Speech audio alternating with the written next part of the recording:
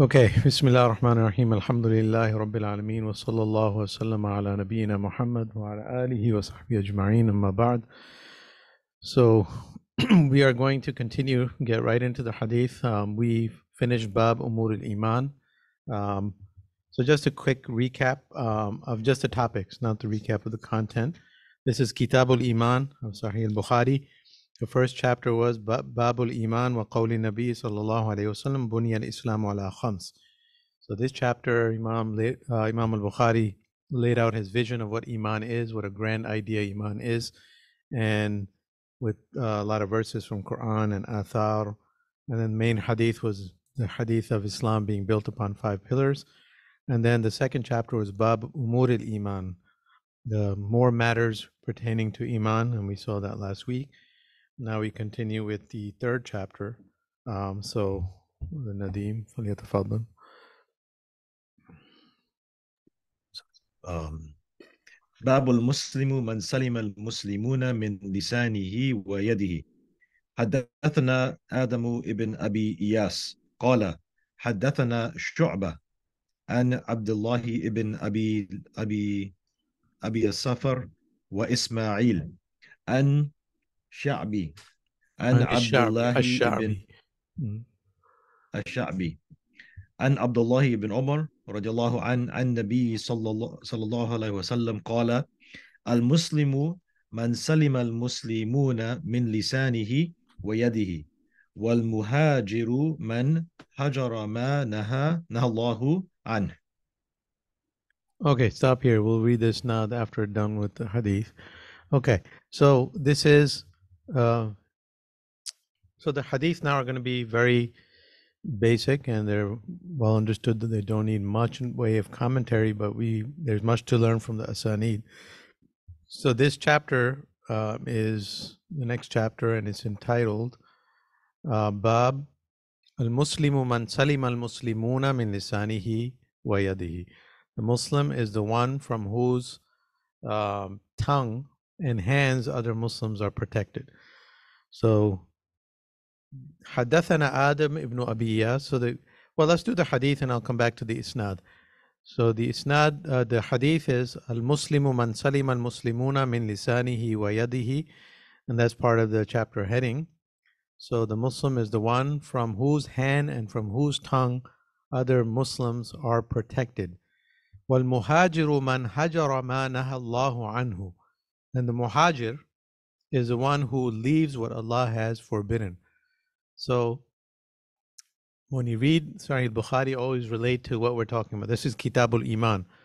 So we're talking about Iman. What is Iman? The grand nature of Iman. Not something simple, just like beliefs, but something much bigger, much grander, much weightier.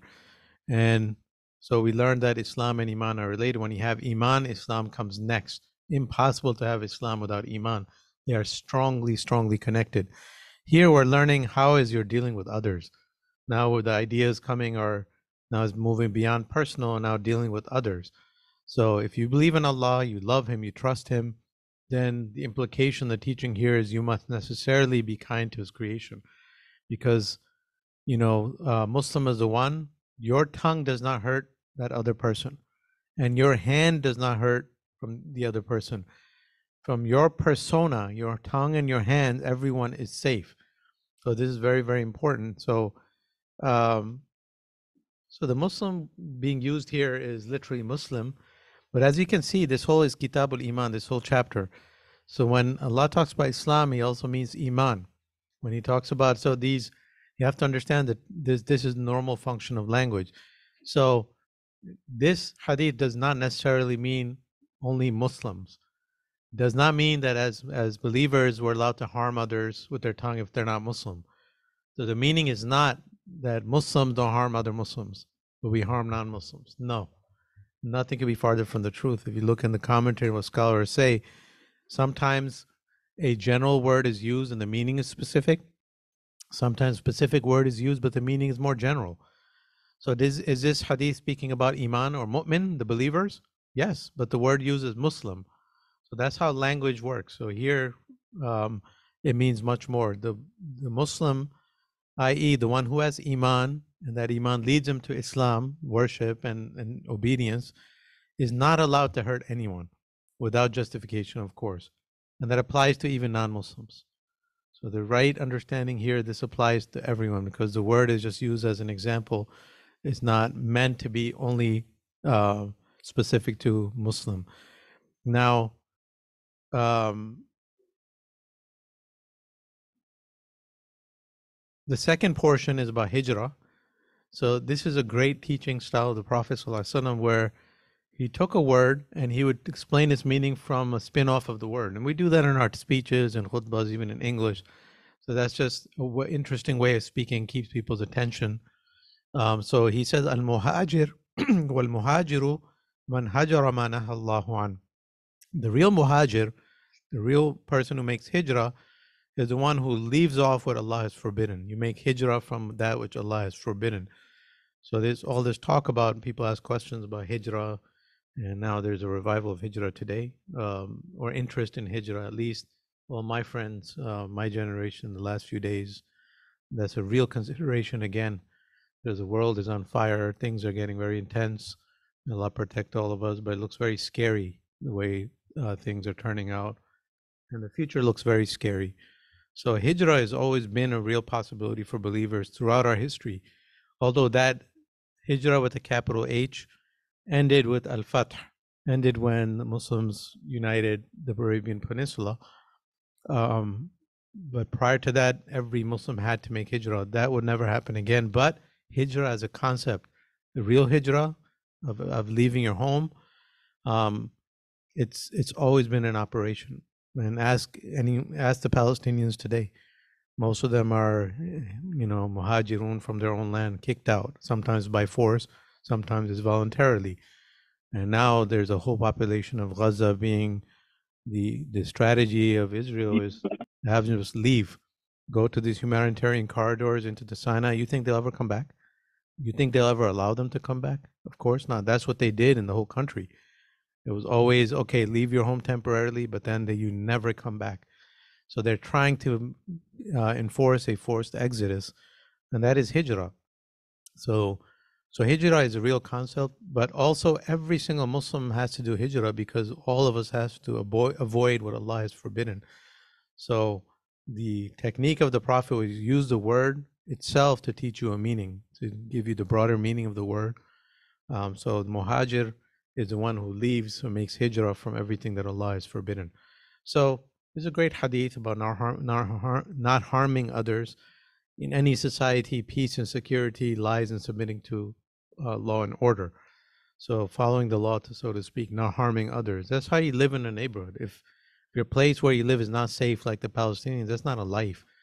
Like they're in their own homes, but it's an open air prison because they're not safe. They're always being bombed. They're always there. They can't leave. They can't import, export. Their water supply is shut off whenever the enemy feels like. That's not a life. So that's so real life. Allah is trying to teach us. The Prophet taught us how to live life, and this is what a believer is. Believer does not harm others. From their tongue and their hand, others are always safe. There's a beautiful meaning, and it's a beautiful hadith. Now coming to the isnad. So the isnad chart. Who is the teacher of Imam al-Bukhari? Who Adam ibn Abi Iyas. Adam ibn Abi Iyas. So who was Adam ibn Abi Iyas? Um, Bismillah. So Adam ibn Abi Iyas was one of the teachers of Bukhari, um, and he was from Asqalan. Asqalan is what happened on October 7th. So that's where these fighters supposedly invaded Asqalan and they kidnapped people from there and they killed people there. So this is at the center of the conflict. So, um, you know, this is a great I mean, coincidence and sign of Allah. These places, these regions, were ours from the very beginning. Imam Bukhari's teacher was from Palestine, from, from Asqalan. It wasn't called Palestine, it's called Sham at that time. So his name was Adam ibn Abi Yas al Asqalani. And although he was he was of Khurasani origin, he was raised in Baghdad, but he settled in Asqalan. So that tells you when you read these biographies how universal Muslims were. Um, you know, he was raised in Isfahan, so he's Persian origin. Uh, no, he was born in Isfahan, Persian origin. His family is from Khurasan, raised in Baghdad, and then eventually settled in Sham. Um, you know, this is hijrah is a part of life for believers. For all, it's always been like that. Um, he was known. He was a one of the experts of of that region. He was one of the more senior teachers of Imam al Bukhari. When Ibn Hajar classifies his teachers uh, according to stages, um, Adam ibn Abiyas falls under tier two of his teachers in terms of seniority. Why? Because he narrated from minor followers. So he's atba'u tabi'in.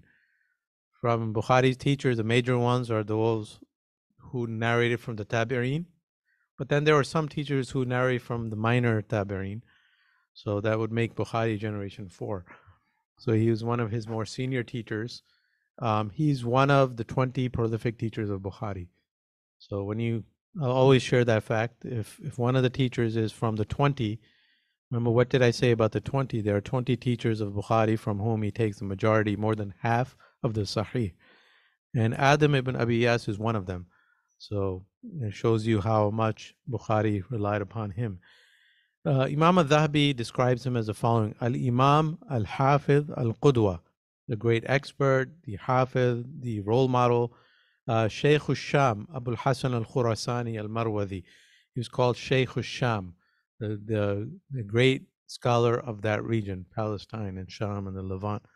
ثم البغدادي ثم العسقلاني محدث عسقلان he was known as the Muhaddith of Asqalan, the Muhaddith of the city of Asqalan. So he was, his grading, Abu Hatim said, Thiqa Ma'mun Muta'abbad min khiyar ibadillahi ta'ala. He was thiqa, fully reliable, trustworthy, Ma'mun, protected from bid'ah, Muta'abbad, someone who worshipped uh, very uh, intensely. He was known for his piety and worship. Min khiyari ibadillah, from the best of Allah's slaves. Uh, Imam An-Nasai said, La ba'sa bihi. You can't take from him. There's no problem with him. So only Bukhari relates from him and Muslim does not. Um, so Muslim, uh, probably because he did not get the chance to meet him, but Bukhari relates from him uh, abundantly in his Sahih, and he died in the year 220. So Adam ibn Abi, Abi Iyas, the Muhaddith of Asqalan, is Bukhari's teacher here.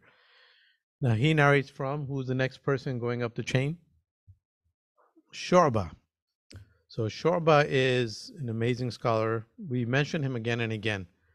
We mention him in class two of Hadith 101, I believe, because he is a central figure in Hadith. He was a prominent scholar, uh, Hadith expert of Iraq. He was the first one to earn the title Amirul Mu'mineen fil Hadith. Amirul Mu'mineen fil Hadith because of his expertise and his knowledge. Uh, when he died, Sufyan al-Thawri said about him, Sufyan al-Thawri is the one who named him Amirul Mu'mineen fil Hadith. He says today Hadith has died because he held him in high esteem. He was someone so prominent in Hadith circles. He's the real founder of the science of ilal or criticism so if you look at, uh, if you do grading of hadith, look at ilm al-rijal, um, looking at isnads, and this whole science was begun by Imam al-Shu'ba. Uh, prior to him, it was begun by Imam Malik, and so, but formalized by Imam al-Shu'ba, and then continued by the likes of Imam Ahmad Ali al-Madini, Ibn al-Madini, and then Imam al-Bukhari, uh, and onwards. He was born in the year 82 of the Hijri calendar, it was um, he's described as being born with a speech impediment. He had a left he had a speech impediment, but did not stop him from learning and being such a high level in the field of hadith. He was born in southern Iraq near the city of Wasit. Then he settled in Basra early on. He studied fiqh with Anas ibn Malik, and he studied fiqh with Hassan al-Basri. Um, his father was a former slave who died while he was very young. And his mother is the one who edged him to study hadith, much like there are parallels between him and Imam al Bukhari. They're both orphans, and both of their mothers are the ones who pushed them to study hadith. Um, For instance, he says once he was a young boy and his mother took him to a village. There was an old lady by the name of Shumaisa, uh, Umm Salama. And he said, Go learn from this old lady because she has she was a student of Aisha radiallahu anha. So he spent some time with her um, and he devoted himself after that to knowledge. And one of the interesting things about him is he never worked in his life and he was poor. He lived a simple life, he avoided luxuries. But how did he support himself? His three brothers, they worked and they were wealthy and they gave him money. So he lived off his family. And it shows you there are individuals like that. You know, if you if he had he been working or been forced to provide uh, livelihood for his family, he would probably not have reached the station that he reached. And so that's something uh, you know keep in mind that many of these uh, scholars were able to do what they did because they either inherited wealth like Imam Bukhari, or they had wealthy family that sponsored them um, and allowed them to do what they did. And that's something amazing. That there's something we find in the hadith of the Prophet as well. Imagine the reward that all these family members share. Um, so he avoided luxuries and worldly life. Um, and, you know, there's an incident once he saw one of his students said, once I was sitting in the class of Shu'ba and I happened to wear a new shirt that day. And Shu'ba asked me how much I paid for it. And he said, I bought it. I told him I bought it for eight dirhams. And Shu'ba said to him, Do you not fear Allah? You walk around with a shirt that costs that much.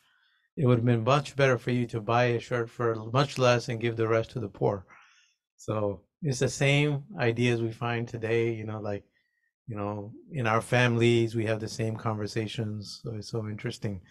He was very, very generous despite being poor. Um, in fact, the young children in the poor areas used to call him father. Why? Because he used to give charity regularly, despite being poor.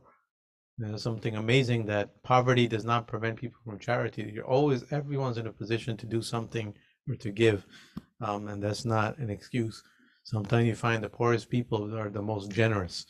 Um, so his student says, uh, Abu Walid, that I have never seen a man more generous than Shu'ba ibn al-Hajjaj.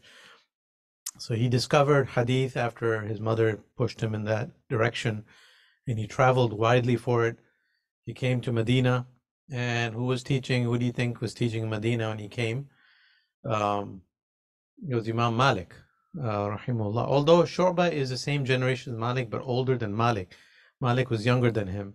Shu'ba was uh, older, but yet he sat and studied with Imam Malik, rahimahullah ta'ala. And then after that, he continued teaching hadith for the rest of his life. And he became very renowned. Um, in fact, he came to Baghdad uh, to teach hadith, and he had a 40 day hadith dictation session.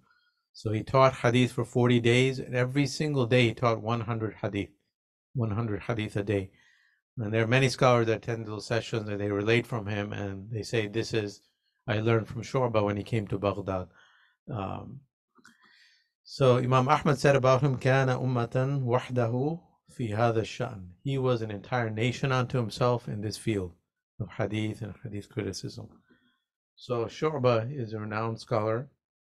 Now, who is the person above him? Ab- Abdullah ibn Abi Safar. Abdullah ibn Abi Safar.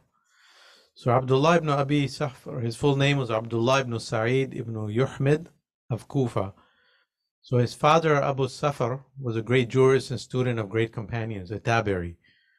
And they were both reliable, father and son.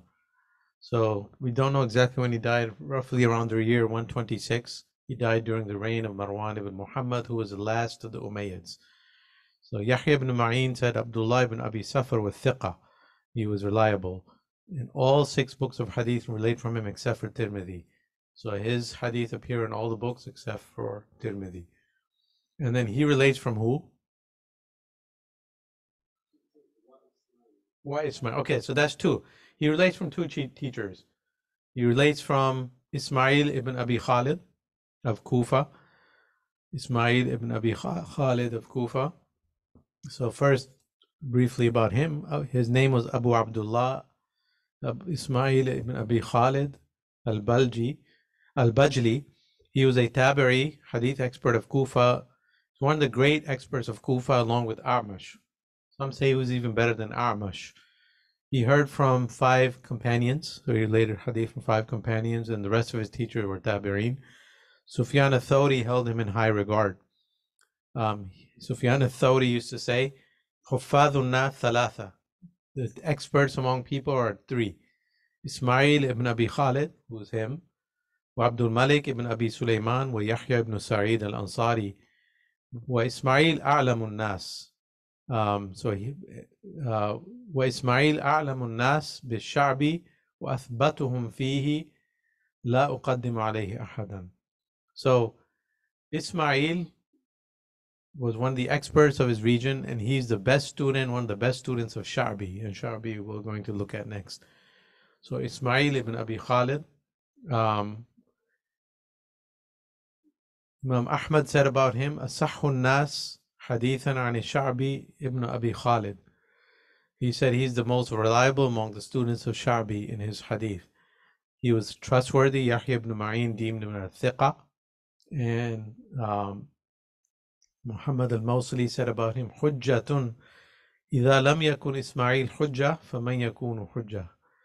If he is a proof upon people, if he is not to be relied upon, then there is no one to be relied upon. That's Ismail ibn Abi Khalid. And the second of his teachers is Sha'bi, right? Sha'bi. So where does it say wa? Let me find the hadith.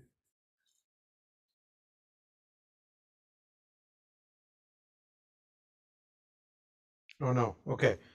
So Ismail is a teacher of Shu'ba, and Abdullah ibn Abi Sa'ib is a teacher of Shu'ba. So he did it right but you need to draw a line from uh, Shu'ba to Ismail, and then both of them are students of, of. So I think you wrote the same name twice, Shu'ba, and then one is Shabi, Shabi. So that brings us to Imam Shabi. So Imam Shabi is a great Imam. You have to know him in Hadith as well. So two great names here, Shu'ba, he's a must know, and so he's Imam Shabi. Uh, his his name was Amir, Abu Amr Amir ibn Sharahil. So he was the chief judge of Kufa. He was a great hadith expert. He was a contemporary of Ibrahim al-Nakhai. Um, he's a teacher of Abu Hanifa. He related from many, many companions, Imam Sha'bi. He said himself, Adraktu khamsu mi'ati sahabi. I have met 500 of the companions of the Prophet Sallallahu he was the one known for many things. We we did mention him um, incidentally in many uh, portions of our hadith courses. One of the things about him is that he's the one who had the prodigal memory.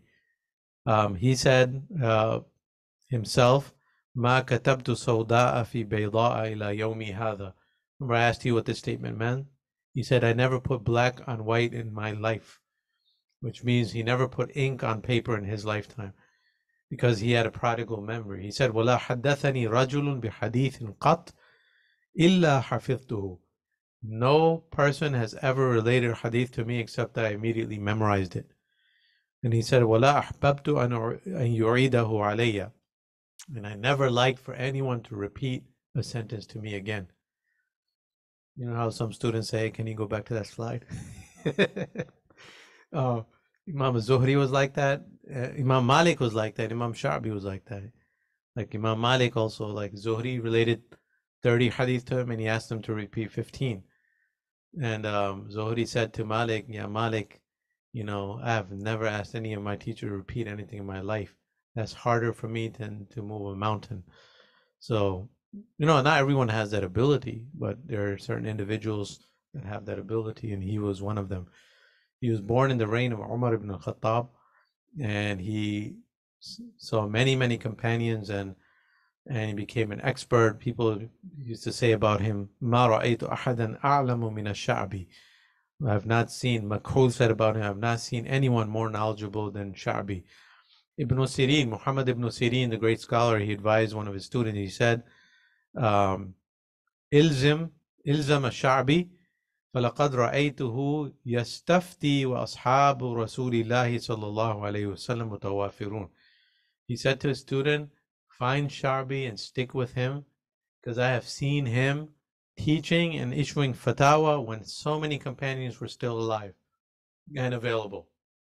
So he was so knowledgeable that the companions had him teach and allowed him to teach and people learned from him despite companions being around him. Um, Sufyan ibn Uyayna, the hadith of the Haram, he said, Ulama unnas thalatha. The scholars among people are three. Ibn Abbas fi zamanihi, was Shabi fi zamanihi, was Thawri fi zamanihi. The three great scholars of their time. Ibn Abbas in his time, Sha'bi in his time, and Thawri, Sufyan Thawri in his time. This tells you all these names should not be random names, but some should be above the rest. When you have statements like this, fi zamani, that means this particular individual was a cut above the rest. Um, so he had many, many great qualities, and um, you know, he was a great scholar. a Great. Someone asked him, and I'll end with that. They asked him, um, قيل للشعبي من أين لك كل هذا العلم? From where do you get all this knowledge from? People are so amazed and uh, by him. They said, where do you get all this knowledge from? Or how do you get all this knowledge? He said, بالنفي الاغتمام والسير في البلاد والصبر كصبر الحمام وبكور كبكور الغراب. He said, these are the qualities I live my life with. He said, first, نفي الاغتمام. Um, you know, he says by denying the pleasures of this life, I believe that's what that means, nafil uh, denying, you know, your the pursuits of your soul, was sayr fil bilad, traveling widely, he used to travel widely to learn, was sabr, and now and uh, sabr persistence, Kasabr al hamam, like the persistence of the doves or the pigeons. So in ancient times, we were connected to nature. There were a lot of qualities that were associated with animals and they don't make sense today because we no longer follow that. But like anyone who's growing up in your regions, the poetry that you learn, for instance, in India and Pakistan, a lot of the poetry of Iqbal is about the birds and the spider and what the deer said to this animal. Animals were known to have qualities. There were books written, Kitabul Haywanat and things like that. Aesop's Fables, right? That's a book of animals speaking to one another. So that was even part of other traditions. So sabr ka sabr hamam, so persistence and patience like the doves and the pigeons. Finally, wa bukur ka bukur al ghurab. Bukur, what do you think that means? Ghurab are, are crows, or you can extrapolate to birds. But bukur. Huh? Yeah, getting up early. Bukur is being an early bird, like the early bird, even in English, as the bird in the in the. So it's the same thing in Arabic. Bukur ka bukur ghurab, being early like the early birds. That's the translation. So these are the qualities that made Sha'bi so famous, uh, and so renowned in his in, in his status and his nature. So this is a great hadith with a great isnad. You learn a lot by looking at the isnad. Now, if Nadim is still with us, you want to finish the rest of the isnad. There's the hadith continues and it says what?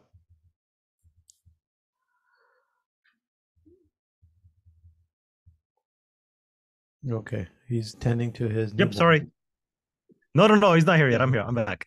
Um, قال أبو عبد الله وقال أبو معاوية حدثنا داود عن عامر قال سمعت عبد الله عن النبي صلى الله عليه وسلم وقال عبد الأعلى عن داود عن عامر عن عبد الله عن النبي صلى الله عليه وسلم Okay, good. So when you read an, it's a it's a preposition, so the next word takes genitive case, or majrur, right? So it's an Abdullah, ani nabiyyi. So now Abdullah, so in Arabic. Um, so and then, so I didn't mention Shabi relates from who? Abdullah ibn Amr ibn al-As. I didn't mention the companion, but the companion needs to be mentioned. I told you I'm not going to do biographies of the companions, those are widely available. But this was a great companion, Abdullah ibn Amr ibn al-As, the son of Amr ibn al-As. So, um, so there's something about the isnad that we need to mention, and that is that this isnad has two um, unique features. Um, well, no. Okay. Abdullah ibn Amr ibn al-As, he was the son of Amr ibn al-As, and he was the one who said himself that I wrote down 1,000 hadith from the Prophet ﷺ in his lifetime. So he's the one who disproves the idea that hadith was written down 200 years or like a generation after the Prophet ﷺ, because he was the one who had a sahifa. There's Sahifa Abdullah ibn Amr ibn al-As. Um, so he wrote down hadith in the lifetime of the Prophet ﷺ great companion. And uh, Abu Huraira used to complain that Abdullah ibn Amr ibn As has more hadith than me because he used to write them down and I didn't write them down. So that's Abdullah ibn Amr ibn As. So now in the second half, sometimes after the hadith, the hadith ended, but there's some comments that are continuing. So what's happening here? And this is something you need to learn. So after that it says, Qala Abu Abdullah, so what does that mean? Qala Abu Abdullah. So who's Abu Abdullah? Who do you think that is?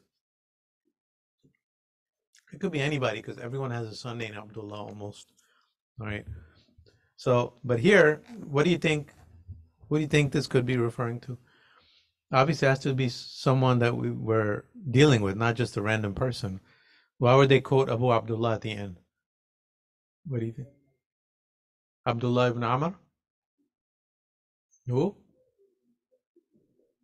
Okay, that's a good guess. Yeah, it could be, but then it would be more obvious. Like then they would probably use the same name they mentioned in the isnad.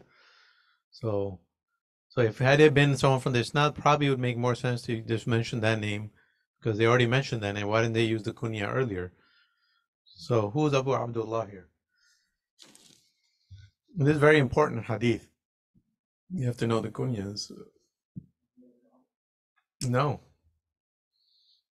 I mean, he might have had the kunya, but that's not what it means here. Like, so when you have a hadith, so the hadith begins with haddathana, haddathana. So, who's speaking?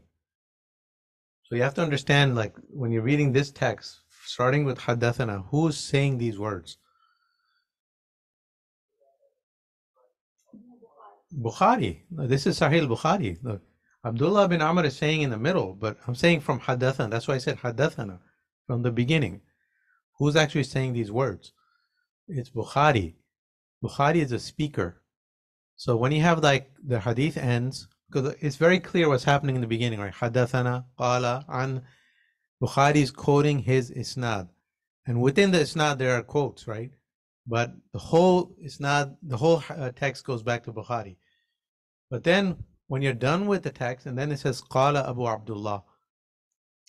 When you see you say you see the same thing and when you read Tirmidhi, what does it say after the hadith? Qala what? In Tirmidhi, what does it say? Something similar. Huh? No. Well, they'll say that too, but usually every hadith is Qala at the end of the hadith. If there's a Abu Isa. Abu Isa. So that's the author. So Abu Isa is Tirmidhi. So Abu Abdullah is Bukhari. Abu Abdullah is Bukhari. So when you see Qala Abu Abdullah, not in part of the Isnad, get out of the Isnad. Now you're this is not in the Isnad anymore. Now you're starting something new. In Mu'allaqat or in the chapter headings or after a hadith ends, when you have Qala Abu Abdullah, it means Bukhari. So this is Bukhari speaking. It's very important to recognize that. Same thing in, in Tirmidhi, when you're reading Tirmidhi after the hadith ends, it says Qala Abu Isa. Then Abu Isa is Tirmidhi giving more comments. So this is Bukhari telling you something else about the hadith or the isnad. So, and the hadith ends at the next bab, right? So before, so there's more things going on now. Now Bukhari is speaking. So, Qala Abu Abdullah, Qala Abu Abdullah. So then he says what? Qala uh, Qala Abu Abdullah wa Qala Abu Muawiyah حدثنا داود. So Bukhari is saying uh, قال أبو معاوية Abu Muawiyah says حدثنا داود." Dawood relates to us an Amir from Amir Amir is the other name of Sha'bi, right the real name of Sha'bi. so قال and Amir says سمعت عبد الله عبد الله عن النبي صلى الله عليه وسلم so he gives you another isnad here that's what's happening the second isnad is from Abu Muawiyah, from Dawood, from Sha'bi, from Abdullah ibn Amr ibn al-As. Okay, so, and then what's the hadith? It doesn't say the hadith. Waqala Abdul A'la. Now he gives you another isnad. So, what hadith are they talking about? Which hadith do you think they're talking about? The same hadith, yeah. So he's giving you another isnad for the same hadith. That's what's happening here. So if you make another tree, um, it would be helpful to make another tree. Um, the tree would be Abu Muawiyah from his teacher Dawood from Sha'bi. If you can, uh, yeah, just from uh, Sha'bi down here. So make uh, coming out of Sha'bi and then Abu Muawiyah under him. So, but no, that's Shu'ba. Uh, no, that's Sha'bi, yes. You have to change the name Sha'bi. You- Yeah. Dawood here going to Shu'ba. Uh, you mixing me up the way you wrote this now. going to Sha'bi. Okay. So what's happening here is he's giving another isnad for the same hadith. So now this is very important. Why would he be doing that? That's the important question here. You might say, well, random. Nothing's random in these books. There has to be a reason for everything. We don't use Rabiul's language. Yeah, under him is Abu Muawiyah. Uh, under, under. So this way. So Abu Muawiyah begins. Abu Muawiyah is, takes it from Dawood.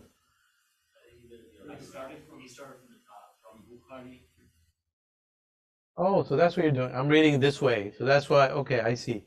I see. Okay. Yes, then it'll be top. Yes. Yes, exactly. Yeah. So, yeah, exactly. So if you put another isnad for the same hadith, it's something is it's for an effect, is to bolster the isnad, to make it stronger. What does that mean? Two different routes make it stronger, but why do you need to make it stronger? So there must be some problem in, that you need to make it stronger. That's the point. When not every hadith has that. Like in the previous hadith, we did not see that. So first of all, who was Abu? Let's maybe tell you about Abu Muawiyah. Abu Muawiyah was um, a great hadith expert of Kufa. He died in the year 194. He was one of the best students of A'mash, having spent 20 years with him. So Ahmad says he's Abu uh, Imam Ahmad says about him. Um, أبو معاوية في غير حديث الأعمش مضطرب لا يحفظها حفظا جيدا Abu Muawiyah is good with the hadith of A'mash, but other than A'mash, he's not the best. He did not preserve their hadith very well. And so he was a great student of A'mash, uh, but he was not such a good student of others. Um, and also another thing about him, um,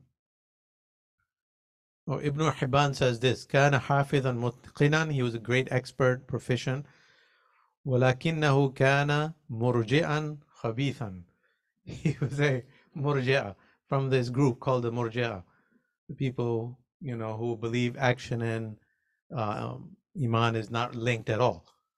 The murji'a would be against this whole chapter kitabul iman. They believe iman has nothing to do with actions. So he was among those. Um, so Abu Dawud said, "Kana ra'isul murji'a bil Kufa." He was the head of the murji'a in Kufa. So again, that same theme I keep telling you. Imam Bukhari is not afraid to take from everyone as long as he feels the information is sound. So he has a different, more academic approach. And there's something that's very relevant for us today. Even someone could be from a group, you don't eliminate everything they do entirely. So Imam Bukhari is taking from Abu Muawiyah. Harun al-Rashid uh, held him in high esteem. He was blind, but he was known for, for great knowledge and expertise. And um, but uh, Harun al-Rashid, for instance, used to invite him to the palace. And he was once, they said they saw Harun al-Rashid pour water with his own hands to have him wash his hands without him knowing who it was. That's how much he held him in esteem. So he was a great scholar, great expert, but um, was accused of, so he, he wasn't the most reliable in all the hadith. And also he was uh, part of this heresy of irja. So he relates from Dawood uh, ibn Abi Hind. So his full name was Dawood ibn Abi Hind Dinar. who died in the year 140. So, so Abu Muawiyah is not a teacher of Bukhari. So there's a lot of things you need to learn here. It's Because Bukhari says Qala Abu Muawiyah. Bukhari doesn't say Haddathana Abu Muawiyah. So realize that when Bukhari says Qala, he's just quoting a scholar somewhere up and with his isnad. So he bypasses his link to that person. Although he has a link to that person, he bypasses it. What would you call this hadith? When you bypass your own teacher, you just quote directly, huh? What is this type of hadith called? So it's a hadith where you're quoting a hadith but without an isnad. So it's kind of like hanging. Muallaq. This is muallaq. This is one of the muallaqat of Bukhari. This is what we mean when we say muallaqat Bukhari. So sometimes it comes in the chapter heading, sometimes it comes within the body right after hadith. But anytime Bukhari says qala such and such, such and such said without quoting his full isnad. Now you might be confused by when he says qala Abu Muawiyah and Abu Muawiyah gives his isnad. So he quotes a partial isnad. But the beginning from Bukhari to that is Abu Muawiyah, there's no isnad.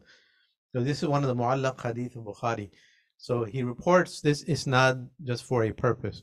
So Dawood ibn Abi Hind um, is someone who saw Anas ibn Malik, uh, and he was someone who's known for his piety, and, and he was Imam Ahmad, Imam Nasa'i, um, all of them, they said he was thiqah, he was reliable. So Imam Bukhari only uses Dawood once. This is the only place you find Dawood in Sahih Bukhari. So this muallaq, so what do we learn from that? The muallaq reports are usually from people who are not fully reliable. Had they been on the primary conditions of Bukhari, they would be in the primary isnad. And Bukhari would not use them in the muallaqat.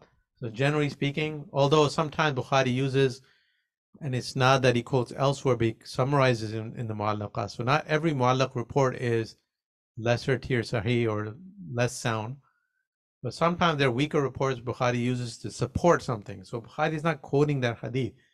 So you can't say Bukhari quotes a weak isnad here because the main isnad is up there. But there's something there. He's reason he's quoting this isnad is for a purpose, and that purpose is the following.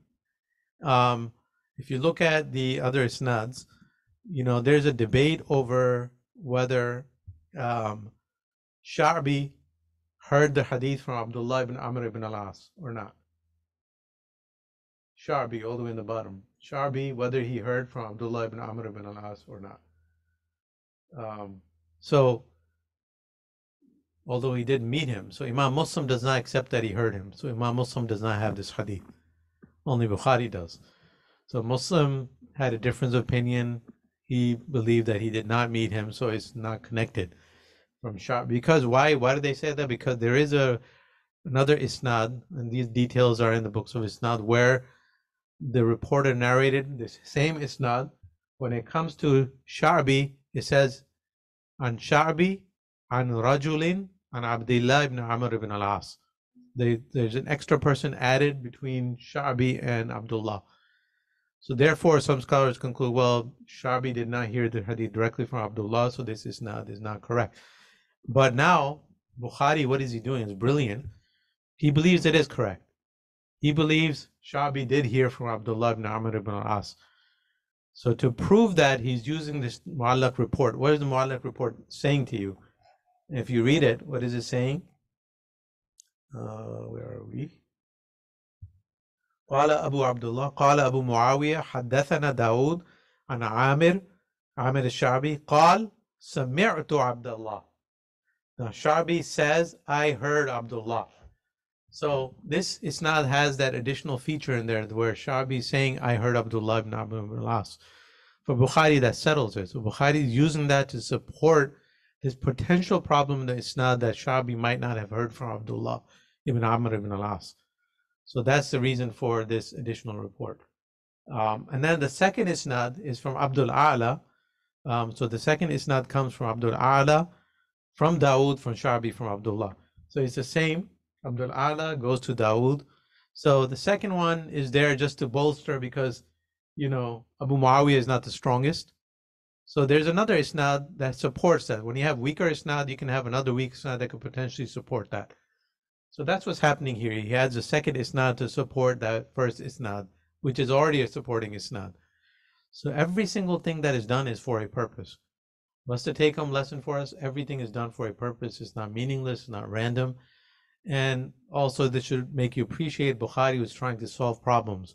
He's trying to understand, he's trying to make judgment calls, and then he's using his expertise to show you why he accepted that hadith and is fully sound for him. So there's a lot that we can learn and and and and unpack here, and that is that you know this science is very complex. It's not very simple. It's not just that Shu'ba is reliable, Sha'bi is reliable, Abdullah is a companion. They're all reliable, reliable, reliable. You still have to investigate whether the reliable person heard from the reliable person or not. So it's not just about the individuals or the names in the chain, but it's also about whether they heard from each other. That's something some people miss. So yes, ilm rijal is also is looking at the names, but also this hadith itself. Did Sha'bi and Shobal, this is not did it actually reach there in an unconnected way? You could have great, reliable experts, everyone top notch in, in the isnad, but it could be that one of them did not hear from the other. So you know that that is an extra part of the equation that they're looking at. Wallahu a'lam. Okay, that took a little longer than expected. Um, any questions on this hadith? We move on to the next. Yes. Just use a mic if you don't mind. Now we have online students. Um, this hadith, uh, we said that the I think you said Abu Muawiyah is not reliable unless he reports from A'mash. So he did for this one. No, he did not. So, so yeah, that's a good point. So he did not. So what's happening here is, despite the fact that he did not, this hadith for Bukhari is acceptable. So he believed he did hear him and he was reliable and he used other support. So that's why he has support. That could be another potential problem in this not, but that's why he has a second isnad and a third isnad to support this. When you put it all together for him, this hadith is reliable. So that's that's the whole point about not just looking at the names. Okay, this name is this person is known to be weak in something, therefore we eliminate the hadith. You still have to investigate more. There's much more to this than just a list of names. So, but for for a Muslim, it's not from A'mash, and he did not take this isnad. So that's a difference of opinion on this. So just trying to make you appreciate the work that goes in, in these judgments and what Bukhari is trying to teach us. Okay, Allahu A'lam. Another another question. The when we get to like Qala Abu Abdullah, um, Uh-huh. is that Bukhari saying that? Like he's speaking Okay. in third person? So there's a sister that's your soulmate on. I'm not going to mention the name. She says the same. She just typed the same question you asked, exact same question. Um, so that's a good question. So when Bukhari or when Qala Abu Abdullah is there, so there's a great debate among scholars. A lot of people believe it's Bukhari adding that, and similarly in Tirmidhi, Qala Abu Isa. So Bukhari did add those comments to his students, but it's those students that wrote those down because when someone speaks about himself, you don't say Qala Abu Abdullah, right? So Qala Abu Abdullah must be someone else speaking, right? Bukhari is the speaker up until here. Now Qala Abu Abdullah, Bukhari said, that means it must have been added. So it got added from Bukhari's work and Bukhari's, so he was probably dictating and he added those comments. But the students they did, they added those comments in there. And sometimes you'll find variations of that. Uh, so, so it's a good question. Um, did Bukhari mean it to be added here? In all likelihood, it did because he, the students are because how is Sahih Bukhari taught? Bukhari is sitting there. He has hundreds and thousands of students, and he's dictating the hadith to them. And each hadith, he's saying these things, giving them comments. So each student is writing the comments down. So in the Muwatta Imam Malik, there are a lot of comments. If you look at all the different students that narrate the Muwatta, the comments are very different because they were sitting in different settings because Muwatta was taught again and again. So that's why sometimes these post hadith comments might be different in some versions, but generally in Bukhari they're very similar. It looks like Bukhari is kind of consistent in teaching the same material. Wallahu a'lam. Okay. Okay. Um, next reader for let's get someone from the audience here. The next hadith is short. So the next bab, the next chapter. So who wants to read?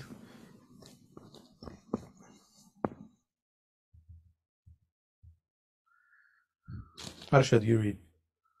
Yeah. I'll read the Rivaya also, or Bab, from the bab. okay. The full. أم، أي إسلام أفضل حدثنا سعيد بن يحيى بن سعيد القرشي قال حدثنا أبي أبي قال حدثنا أبو بردة ابن عبد الله ابن أبي بردة عن أبي بردة عن أبي موسى رضي الله عنه قال قالوا يا رسول الله أي أي الإسلام أفضل قال من سلم المسلمون من لسانه ويده Okay, that's good. Jazakallah khair. So this hadith is very short. So the isnad, now let's make this not chart. Uh, someone else make this not chart.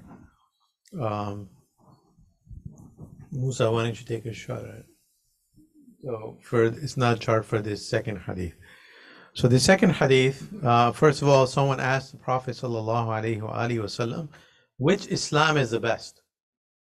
And he said the same thing as the previous. Man salim al muslimuna min lisanihi wa di- wa yadihi. It's the same hadith, but it's a, it's a slightly different answer to a question, which is that whose Islam is the best? Whose Islam is the best? So this is very, very um, what additional things we learn from here that Islam is just not just a one-time thing. You're Muslim and that's it. It's an identity or belonging. No, it's a reality, and there's many levels, and it's a reality that has different levels of quality. Just like Iman goes up and down, Islam also. But here, which Islam is the best? In other words, what's the best type of obedience? What's the best Islam that we can achieve? And the Prophet said, your hands, from your hands and tongue, everyone's safe. You don't harm others. Everyone feels safe uh, around you. So this is very, very important. Um, you know, this is a question that was asked to the Prophet, Ayyul Islami Afdal. And in some versions, Abu Musa, this is the, the companions, Abu Musa al-Ashari. Some versions, Abu Musa is the one asking the question. And this one saying, Qalu, it was said, O Messenger of Allah, which Islam is best. So this is, uh, you know, the companions asking questions, they're so, um, you, someone needs to do research, and this is a great instructive thing. All the questions the companions asked the Prophet, make a list, and then compare them to all the questions that people ask today of the scholars. You'll find it's so different. So the companions, this is what they're concerned with. You know, what Islam is best. How do I make it to paradise? How can I see you, O Messenger of Allah, in Jannah? And how do I do this? So th- these are practical questions. They weren't concerned with like minor details, like Bani Israel with the prophets, like you know, Allah commanded slaughter a cow. They said, okay, what color, male or female? All these questions. When Allah commands obedience, um, believer is supposed to follow. When Allah commands something and tells you something without leaving the details, that means the details are not meant to be important. But the more you ask about them, then the details come, and the matter that's vast becomes more restricted over time. That's what happened with Bani Israel. And that's what's happening with Muslims today. So Islam is very easy. When Allah's messenger said, From your hands and your tongue, others should be safe, that's self explanatory. The more you delve into details and explain it and define it, it becomes more and more constricted. Something that was meant to be general um, no longer remains general. And that's the same thing when the Prophet commanded people to pray, to give zakat. You know, the Prophet commanded people to stand up in prayer. Companions did not ask, How should I stand? Where should I put my feet? Where should I put my hands? How far up do I raise my hand? The Prophet said, Raise your hands. No companion asked, How far do I raise the hands? Where do I put? They just did it. And because they just did it, that's why there are different details of practice among the companions. The Prophet was okay with that. That's the point. But when you miss the point and you believe that, you know, the whole religion, the purpose of religion is fiqh, and you look for all the details and everything, exact, minute details and everything, and that's something very, very unfortunate. Like, uh, you know, the detail Allah commands us to slaughter animals, right? For the biha. You slaughter animals. Aren't people ask so many details? Okay, how is, you know, this versus that? And even that is not good enough. And so all these things are not right. Um, Aisha radiallahu anha, Sahih Bukhari, there's a hadith. She came to the Messenger of Allah. She said to him, O Messenger of Allah, a lot of people become Muslim, they're new. Then they send us food that contains meat. They just became Muslim. We don't know if they slaughtered properly or not. What should we do with this meat that they send us? What do you think his answer was? And like, look at the answer, also compare the answers we give today. Today, the answers will be very different. He said, Kul bismillah wa ku- uh, Qul bismillah wa kul. Say bismillah and eat it. Don't get into the details. What does that mean? That means there's a possibility that some of the meat was not slaughtered correctly and the Prophet allowed Aisha to eat. Did their religion end? Was that a matter of life and death that you cannot put in your stomach anything that's slaughtered incorrectly? The whole point is you do the best you can, you follow the instructions, but then it's not Allah is not looking at the details of slaughter. What does Allah say about the slaughter of the animals in the Quran? لن ينال الله آه، لحومها ولا دماؤها ولكن يناله التقوى منكم. Oh, um, it's not the blood, it's not the the slaughter, uh, it's not the meat and the blood that that's important that reaches Allah. It's the taqwa, your ability to follow as best as you can without asking too many details. So that's the whole point. These questions, Ayyul Islami Afdal, these are the practical questions, not details of, of practice and how to pray and things like that. Companions did come to learn how to pray, but the Prophet did it and they didn't get into like so many details and follow up questions with follow up questions.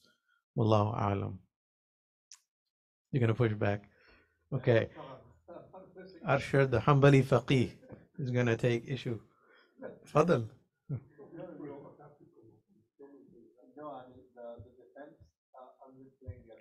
Yeah, yeah Act- The microphone so people can hear So you. the defense they would say is, you know, they'll use the hadith that is obviously well known in Arba'in Nawawi. Uh, you know, so very, you know, يرفع يده when he calls Allah subhanahu wa ta'ala مطعم حرام وملبسه حرام أما استجابوا لذلك. They will use that hadith and they'll say, since this person was not careful in how, you know, in the con- the food that he consumed Mhm, and the food that the other clothes that he wore and all of these things. So mhm. this is the other side that you know a Muslim has to be very careful. And the problem is, I don't know if it's a problem or a bad thing. Throughout the books of fiqh, one of the things you'll commonly find is al-ihtiyat fi din wajib, which is I don't think uh, the general statement itself is bad, but this is the Mhm. generally. So yeah, excellent pushback. Um, so, but I'm still standing, and I'm going to push back some more. Um, so this is what Shaykh Akram taught. He's brilliant. He says, um, and he's absolutely right that the ma- malbasu haram wa mat'amuhu haram. Um, that means their the income was in law, lawful, unlawful. Does it's not talking about the details of slaughter. So that person who asked asks Allah and his income is wrong and he's getting haram income and he's you know cheating people or engaging in riba then how could his dua be answered so it's not about the meat it's about the income And that's what the halal and tayyiban means there's food has to be halal it has to be lawful that among the categories are law but it also has to be tayyib means you have to procure it from a um, a major uh, lawful source so what does that mean that means halal income is a core teaching of the faith. There's no compromise there. There you have to do every ihtiyat. Anything that could possibly be wrong, like it smells of riba, if you're not sure it's riba or not, you're not sure it's haram, you leave it. Because this is a core teaching of the faith. Allah says, do not engage in riba in the strongest terms. So having halal income is a core teaching. There's no compromise on that. But then slaughtering an animal is not a core teaching. It is the slaughter itself is a teaching, but it's not in in in, in that level of and so in these non-core teachings you try your best. There's a lot of flexibility there. And even how could it be a core teaching when there's a difference of opinion about the slaughter among great ulama like Imam Shafi'i and others? Imam Shafi'i is no is not no less of an imam than others. For them, the meat of Ahl al-Kitab, you're not supposed to inquire about their slaughter as long as they're Ahl al-Kitab. It's understood that is halal. You, I mean, I would disagree. Many of us would disagree, but still, it's something that you have to respect. So when there, the details always have differences among the fuqaha, and the principle in fiqh is what? La inkar fi masail al-ikhtilaf. There is no pushing back on matters of disagreement. So matters that are peripheral matters, There's a lot of disagreements among jurists. They're not matters of fundamental matters of right and wrong. You shouldn't be that strict on that. But the matters of core teachings of the faith, like taqwa, like shirk, like tawheed, like haram and halal, like the, in the major forms, those are very, very important. There's no compromise in that. So that's how we understand everything in a unified whole. Wallahu a'lam. Okay. So the isnad, let's do the isnad because we're over time, but let me finish the isnad. So this isnad is coming from um, Sa'id ibn Yahya. Sa'id ibn Yahya ibn Sa'id al-Qurashi. So he was a great, so this isnad is a Kufan isnad. Everyone is from Kufa. So Sa'id ibn Yahya, he was a great scholar from Kufa. Um, his name was Abu Uthman, Sa'id ibn Yahya ibn Aban ibn Sa'id ibn al-As. And Ibn al-As, al-As was the mushrik that was killed in Badr on the wrong side. So Sa'id, it would be his one father, grandfather, great great great grandfather. So Bukhari's teacher, Sa'id, his great great grandfather was As, uh, was ki- As ibn Umayyah ibn Abd Shams, was killed in Badr as a mushrik. So all six, except for Ibn Majah, relate from Sa'id ibn Yahya. He was known to be thiqa, and Nasa'i said him and his father were thiqa. Ali ibn al-Madini said, huwa athbat min abihi. He was more reliable than even his father. Um, so Sa'id ibn Yahya relates from who? Who's the next person? His father. So this, so there are two things about this isnad. Number one, it's a Kufan isnad. Number two, it's a family isnad. It tells you a lot. So Kufan is everyone's from Kufa. It's just a historical coincidence. Second, Sa'id ibn Yahya is relating from his father. His father is Yahya ibn Sa'id. So Yahya ibn Sa'id is not the same Yahya ibn Sa'id al-Ansari from Hadith 1. But this is Yahya ibn Sa'id, the descendant of As. So he was a great scholar. He was also reliable. All six uh, books of Hadith have Hadith from him. And he relates from, who's the next person? On the Isnad? Abu Burda. So Abu Burda, his name was Buraid ibn Abdullah ibn Abi, Abi Burda ibn Abu Musa of Kufa. So he was great hadith expert of Kufa. So this Abu Musa is Abu Musa al-Ash'ari. Okay, so Abu Burda was that he died uh, in the year about 140. He was a great expert of hadith in Kufa. He was descendant of Abu Musa. So he relates from who? So who is his in relation? What is that? Grandfather, yes. So you have you have uh, the first uh, on top Sorry. So for next week, write this not in the opposite direction. In Islamic tradition, your name comes at the bottom and the messenger's name come on top. So keep looking on the bottom to go top, and we're going the other way around. Um, so Yahya is relating from his father. No, Sa'id. Sa'id is relating from his father. And the father, Yahya, is relating from Abu Burda. Abu Burda. And you can see that from the name. If you look at the Isnad, read the Isnad together. Abu Burda ibn Abdullah ibn Abi Burda. An Abi Burda. So the Abu Burda is relating from his grandfather. And then the grandfather, Abu Burda, is relating from who? Abu Musa al-Ash'ari, but what's the relation? That's his father. Okay, that's his father. So Abu Burda, great scholar of Kufa. So this is three generations of Abu Musa al-Ash'ari's family. The hadith is from Abu Musa al-Ash'ari. And you can see in the Isnad is going to his son um, and is going through. So Abu Burda ibn Abi Musa, that's his name. So if you go the other way around from the Prophet, it's Abu Musa. Abu Musa relates to his son, and that son related to his grandson. That grandson related to uh, Yahya, and Yahya related to his son. And then Bukhari got from him. Um, Rahimahumullah jami'an. So this is hadith number two. This is kind of like a continuation of the previous hadith, although there's a new chapter created here because it's teaching you something additional. Okay, any questions? And it's 9:30. I think we need to stop. Yeah, let's stop with two hadith. So I realized we are not going to finish Kitab al Iman this semester. So I I accept that. Kitab al Iman is going to go into next semester. Inshallah, we'll try to finish by the next semester. Uh, so we'll divide Kitab al Iman among the two semesters. Inshallah. Any questions? Do you have those twenty teachers of Bukhari somewhere? Yeah, I have them somewhere. Can you give it to us? Inshallah. And who are the other two? How many are the There's 20. What do you mean? How many? two? Who- who is twenty? No, no, he had 200 something teachers. But there's so the, the 20, what I mentioned is that there are 20 teachers from whom Imam Bukhari related more than half the Sahih. That's from the research Sheikh Akram. So half, it's from the rest. There are 200. So there might be a teacher of his he gets one hadith from. Another teacher gets two hadith from. But there's 20 teachers where he gets majority of his hadith from, or more than 50% just tells you that there are 20 teachers he held in high esteem and then the rest he related here and there. Um, yeah. go ahead.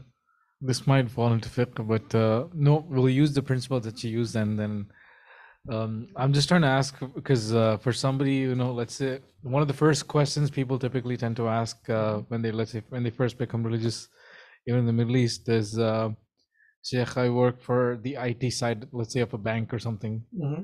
So, and you mentioned the principle, you know, we're very strict on halal, and there's also an ayah in the Quran, mm-hmm. "Ta'awunu al wa taqwa. Mm-hmm. Mm-hmm. The very people that I find uh, who talk about the details of fiqh, and sometimes they tell me they work for the bank in the IT sector.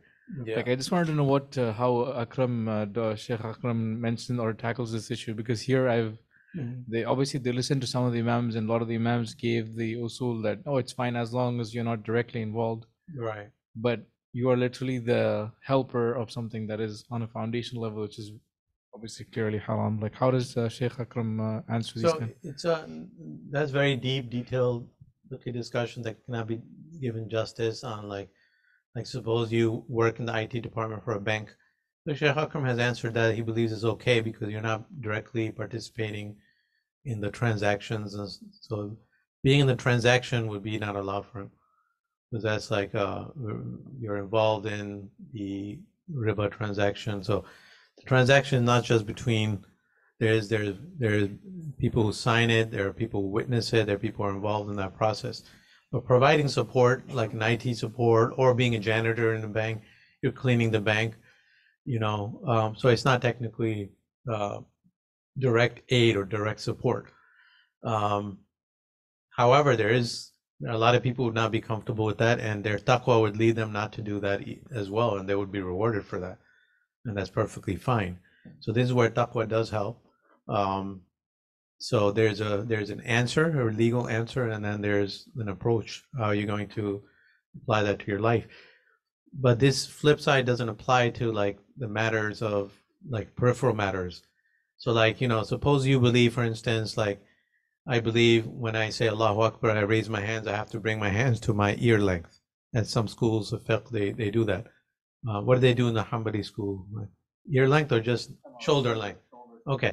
Suppose you believe ear length is a sunnah and then someone does it this way and if if you're not careful and you don't know how to approach this peripheral versus secondary issues and having the prophetic methodology that might be something that you consider munkar and you have to commend you know the good and forbid the evil and you would harshly stop that person from doing this because the sunnah is bringing it up to here because you believe that's right.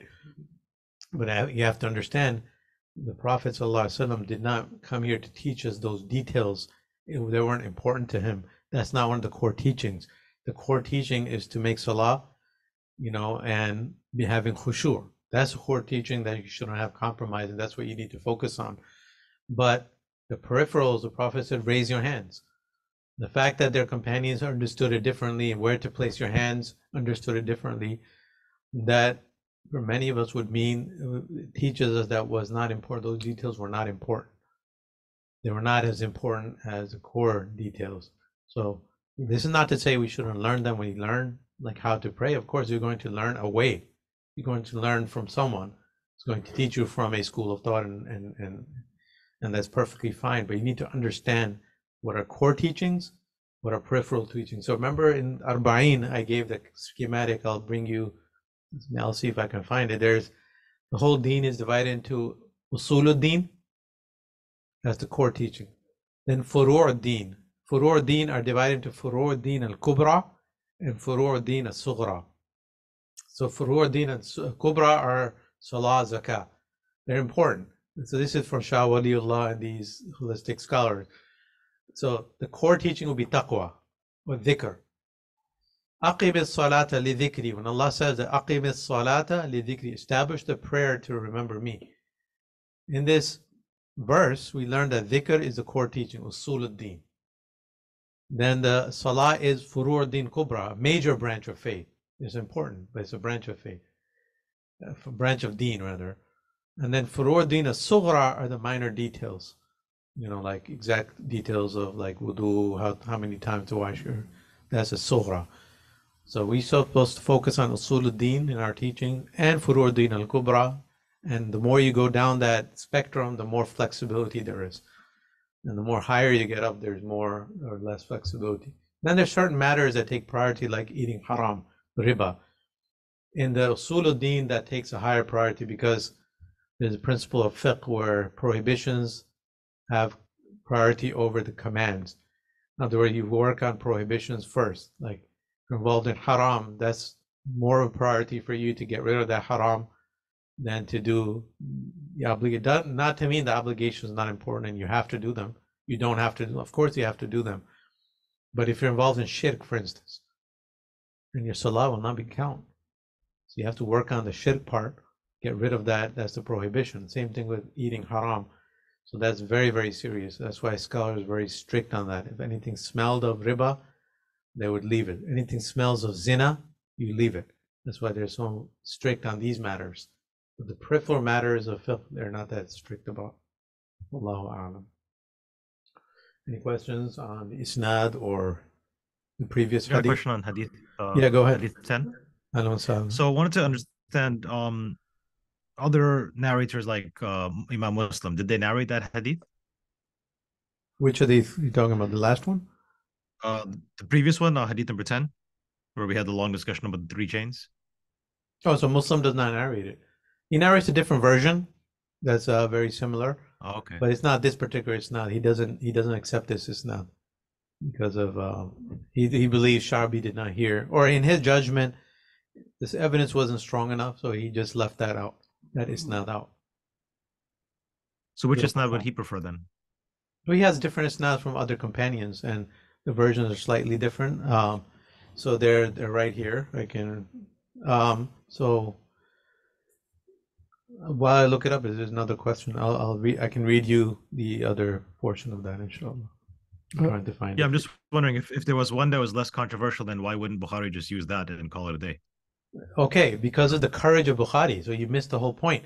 So a weak person, when he sees cowardice, cow- when weak or cowardly person, or someone doesn't have the skill set to resolve a problem, when he sees controversy, he'll leave it.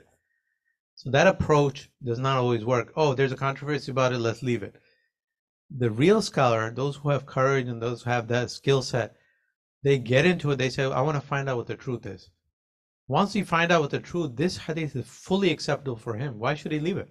For him, the Prophet said it. It's not as solid, but to prove to others, he's bringing supporting. It's not. Look, this is some of the reasons why I believe this. It's not as acceptable. For Bukhari, it wasn't controversial. It's kind of like you know Ibn Taymiyyah's discussion on the mutashabihat of the Quran, right? Like the Quran says, there are ayat that are clear, and there are ayat that are mutashabihat. People have disease in the heart, they follow the mutashabihat. So Ibn Taymiyyah says mutashabihat is relative because for some people, a verse that's not clear to another person is clear to one person.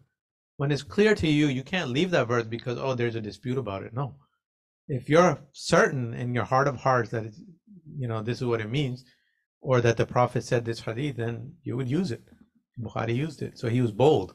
You can say he was bold and he was academic and um, but Muslim was more careful and cautious. If there's even like a semblance of someone has bid'ah, he would be more inclined to reject their hadith uh, based on that feature. So you can take your approach. You can pick uh, which approach suits you, but there are differences of opinions among experts. But you need to appreciate at least what Bukhari is doing. It's not that he's taking controversial things, he's settling the controversy and he's removing the controversy. Right. So quick follow up. So we can say then that he's, you know, he's daring enough to do this. That's quite clear. But then he's also teaching us that there's a there's a methodology to sort through these things. You don't have to just run away from them. You can apply more due diligence and and clarify them. Yeah, exactly. So there's kinda matters like- of it's kinda like a lesson should really get into that. Yeah. Yeah. It's kind of like a whole lesson in due diligence when you look at it from the macro. absolutely, absolutely. But not, not everyone doesn't have the skill set, right? Everyone's not going to be able to do that, Right. right? You know.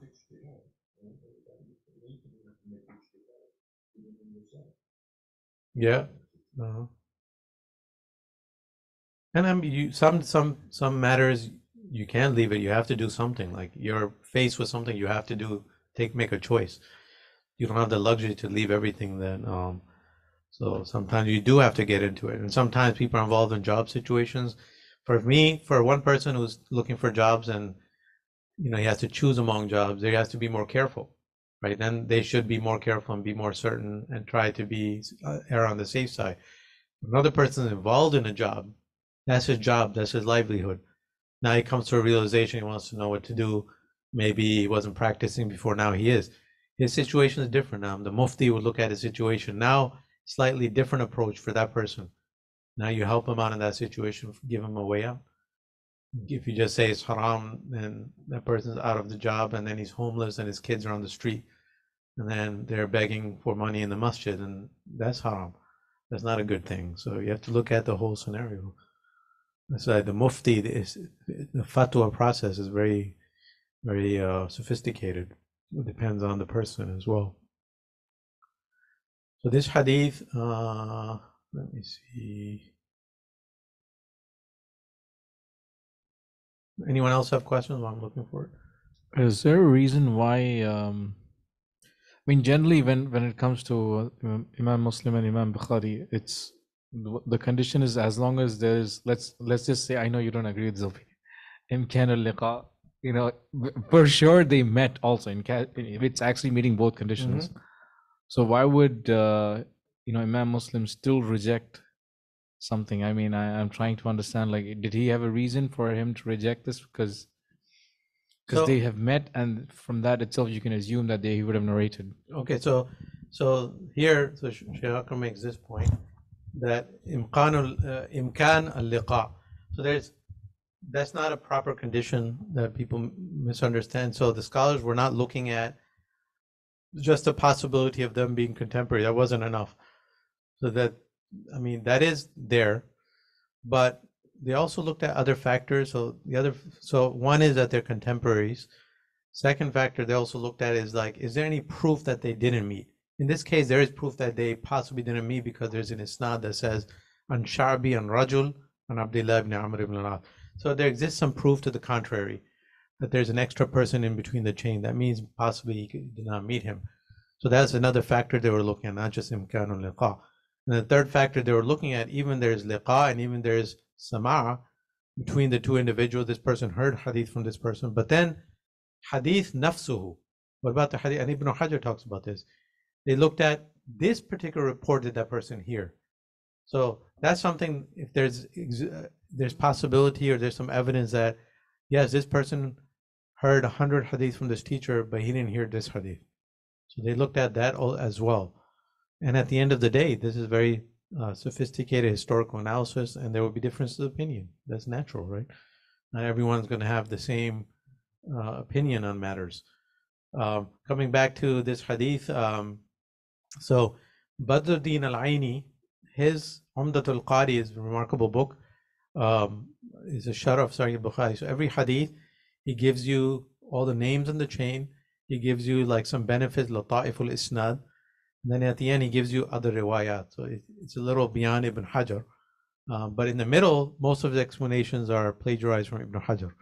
Um, but there's a lot of benefit here. He adds some things that Ibn Hajar doesn't necessarily have. So he says this hadith, al-Muslim and salim al-Muslimun min lisanihi wa yadihi, appears in Sahih Bukhari um, in a number of places. But this particular isnad, this particular version, only Bukhari has it, not Muslim. But Muslim has ba'dahu fi sahihi and Jabir.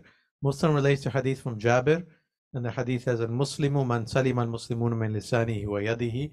He doesn't have the hijrah part, so he just has this portion. And then he also has a hadith um, from Abdullah ibn Amr ibn al-As that a man asked the Messenger of Allah, Ayyul Muslimuna khair, which Muslims are the best? And he answered, Man salim al Muslimuna min lisanihi wa yadihi. So it's in different versions in Bukhari, uh, in Muslim, but this exact isnad with this particular full hadith is not in Muslim. So he didn't accept this exact isnad. So for most of us, we would say, well, it's the same hadith. So a lot of times people will say related by Bukhari and Muslim because they're looking at the meaning of the hadith. If you look at the meaning of the hadith, not the exact hadith, then yes, it's in Bukhari and Muslim. But these scholars were looking at you know the wordings of the reports and looking at the isnad. Remember, for muhaddithin, each isnad is an independent hadith, even if his matan was the same. And then Nasa'i says, Nasa'i has the wording man hajara ma harram Allahu alayh. So Nasa'i has the same wording as Bukhari, but slightly different. And then he says in Mustadrak, slightly different. The hadith says, Wal mu'minu man aminahu nas. Prophet said, The mu'min is the one from whom other people are safe. You playing off the word mu'min. So that's in the Mustadrak of Al Hakim. So there's all these different versions of the, the hadith itself, coming from various isnads and different companions. But the strongest versions are in Bukhari and Muslim. That's what we should try to stick to. And this is that discussion. Allahu A'lam. Any other questions online? So is this considered muttafaqun alayh? So that's the question. No, technically no, because the hadith is different in Muslim, although it has similar wording. Had he had manhajra, you know, uh, the hijrah part in the same is- hadith with the same companion, then maybe. So, but if you if you're again muttafaqun alayh, what do you mean by that? It depends on whoever's me. If you mean broadly speaking, the broad contours of the hadith is in Muslim as well, then you can make an argument and say, I believe it's in Bukhari and Muslim. When you give a khutbah, for instance, you don't want to get into that nuance in the khutbah. But technically speaking, no. But you can make an argument and use that term in your own way.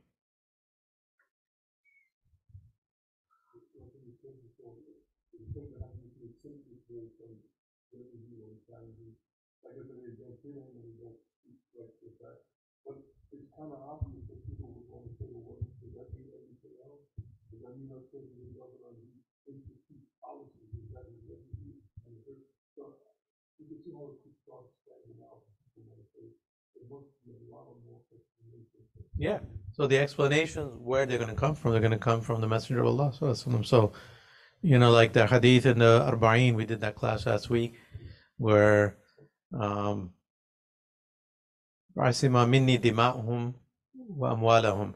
The Prophet created this protected space in the community of believers. So it doesn't mean that outside the protected space you're allowed to kill everyone just means this per, per space of believers, as they say, La ilaha illallah, umirtu an uqatil al-nas hatta yashhadu an la ilaha illallah, anna Muhammad Rasulullah, wa idha fa'alu dhalik, asamu minni dima'uhum wa amwalahum illa bihaqqil islam. So this explains to you that protected space concept where now you're in this protected space, you testify to live by these laws within the space and you believe in Allah and His Messenger, you're protected. Your blood and your property is protected. But then illa bihaqil Islam. It's not an absolute protection. There might be scenarios where you know that harm for the greater good would allow it to be for instance you take wealth from your neighbor unjustly so now if you're a muslim just because you're a believer your wealth would not be protected you stole it so the authority and the ruler and the they can get involved and forcibly take that property back from you and you might say you're not allowed to say that you're harming my property well, no, you took it from someone else, and now you have to endure this temporary harm for that greater good. So,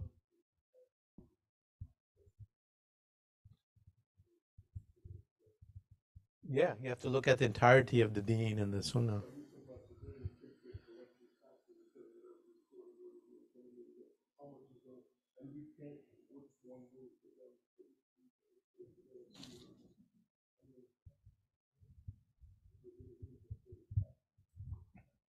Yeah, but so the taxes it doesn't take away from us recognizing affirming it's the most unjust system. Because like Islam gives you 2.5% of of your savings here. It's not savings. So you could be dirt poor but you got to give a portion of it to the government. And then the other side of that where does it go? It goes to Israel. 5 billion dollars a year. That's most of our taxes a portion of our taxes funding the destruction of another people or abortion, all sorts of things. Yeah. So it is an evil institution it's of the highest proportions. And the Islamic norms is not to, for the ruler to tax people beyond their scope. It's very minimal. Islam is very minimal. People have the right to keep what they earn, and and Islam gives them moral encouragement to help others in need and create the circumstances. Forcibly taking it, it's not even for charity. It's for, and the government is a deeply um, bureaucratic, deep state that sustains itself. There's a whole military-industrial complex in every country, not just a, a group of people there to make your life better. It's a it's a whole institution that exists and needs to feed off on others to keep existing and keep growing. Tremendous corruption in those state institutions. So it's it needs a whole rethink. But you know, I'm not saying don't pay your taxes, but uh, well, let me press stop the record button, then I can say, hang on. Um, stop.